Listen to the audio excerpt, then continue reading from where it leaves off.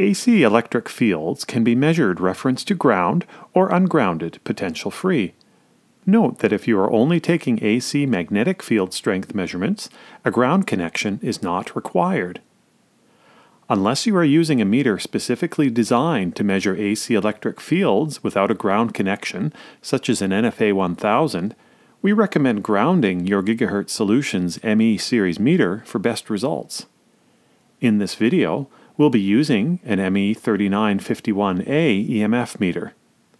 A detailed technical and instructional video for this meter is available on the Safe Living Technologies website at slt.co. All low frequency meters sold by Safe Living Technologies include a grounding cable, and more advanced meters include a grounding clamp. A proper connection to a reliable ground is essential for accurate measurement with these meters. It is also important to check for any voltage potential differences that may exist between these connection points. First, let's look at the three options you can use to ground the meter. The first and easiest way is to connect your meter to an electrical ground with a ground plug adapter shown here. Notice that the only pin used is this conductive ground pin. It connects to the AC outlet's ground pin as shown here. Confirm your home is wired correctly by using a basic outlet tester. This tester shows correct wiring with these lights. Both the ground plug adapter and this wiring tester are available from Safe Living Technologies. Using the included cable, connect the meter to this adapter as shown.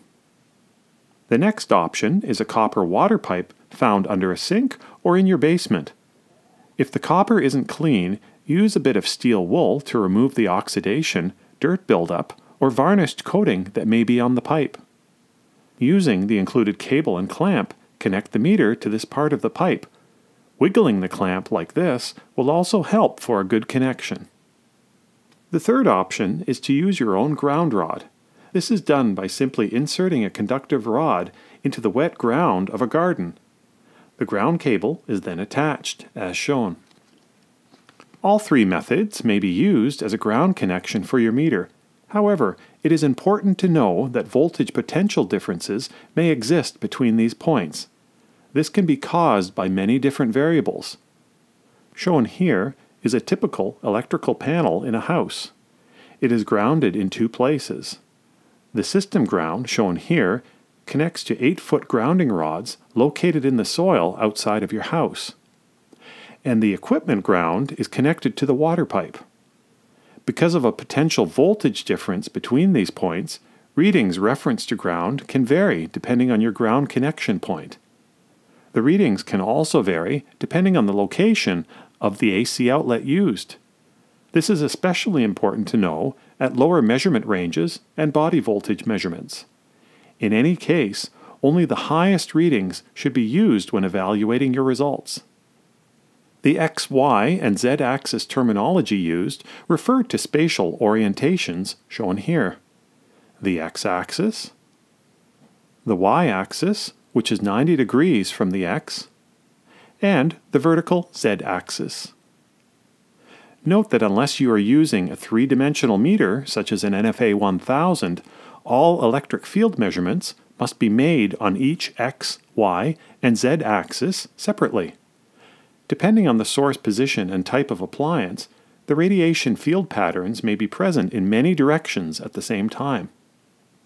After you have chosen a suitable ground connection, proceed with your readings as follows.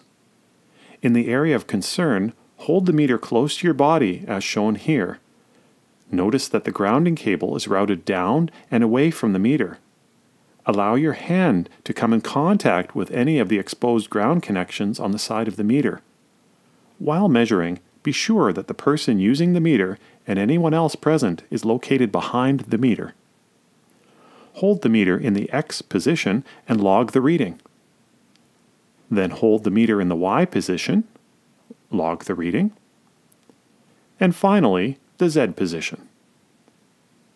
If there is only one specific value or dominant axis, you can simply use that value alone Otherwise, calculate the total exposure value by using the following vectorial addition formula. The square root of x squared plus y squared plus z squared. This is where a three-dimensional meter, such as the NFA 1000, saves time and increases accuracy because all three axes are measured and calculated at the same time without moving the meter. No manual calculations are required, and the total exposure reading may be read directly from the display. If you do not have a reliable ground connection available, Measurements must then be done with the following method known as potential-free or floating measurements. The individual axis reading and calculations procedure are done as before, but this time it is extremely important to keep the meter at least 4 inches away from any conductive surfaces and to keep your body at least 5 feet away. To assist with this, use the following accessories a PM1 or PM5 for the ME series of meters, and a PM1 or PM5S for the NFA series of meters. Again, these readings are known as potential free or floating. Once you have determined the highest readings, compare them to the latest building biology guidelines. Currently, SBM 2008 is the most recent building biology standard, Notice that the AC electric field guidelines are given in two categories potential free or floating, and referenced to a grounded connection. A reasonable goal after mitigation would be to have levels reduced to the slight concern level as shown below.